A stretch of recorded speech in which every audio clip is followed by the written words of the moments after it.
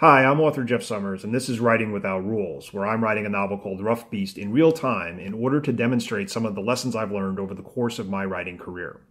Um, this week, we're still in the doldrums that we discussed last week. I've only progressed to chapter 11, which, which is totally fine. Writing a novel is a marathon, not a sprint.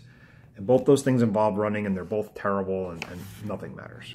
Wait, wait, wait, wait, wait. Obviously, some things matter, like writing this novel, for example. So I'm still in the doldrums. That's okay. Um, making progress, just very slowly for no discernible reason.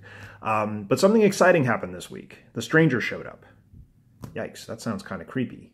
Who's the stranger? Well, as a writer, have you ever felt like you're not really doing anything except moving your fingers? Um, like you're not actually in charge of your own story, you're just a vessel for putting words down? I do pretty frequently. Um, I often go back and read things I wrote a couple of years ago, and I have zero memory of actually writing them.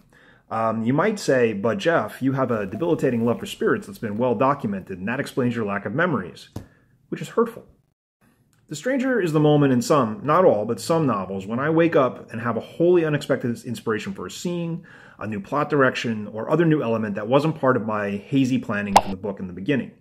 In Rough Beast, I woke up the other day with a new scene in my head that will have a domino effect on the rest of the plot, but it's going to be super fun to write, so I'm all in. I have this weird sense, though, that I didn't do anything. The stranger came and gave me this idea. All I'm doing is keyboarding.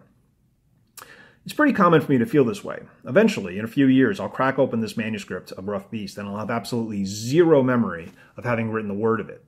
All you can do is roll with something like that um, and hope the stranger is kind to you. Wow, that sounds really creepy.